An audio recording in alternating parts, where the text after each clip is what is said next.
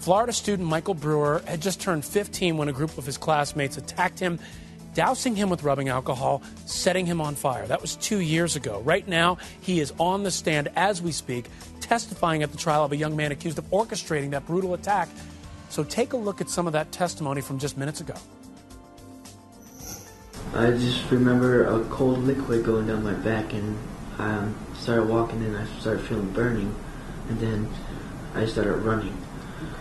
Did you see DC at any point, or after you heard the full, the felt the cold liquid? Did you see him with stuff, with a jug or anything like that? No.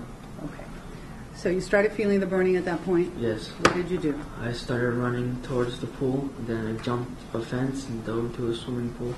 I felt like I was gonna die.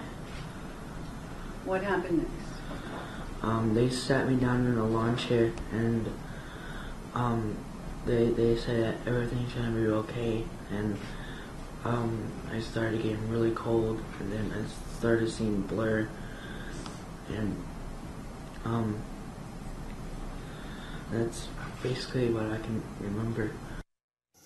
Michael Brewer had burns over 60% of his body. He's on the stand. This is live picture actually from the courtroom in Florida.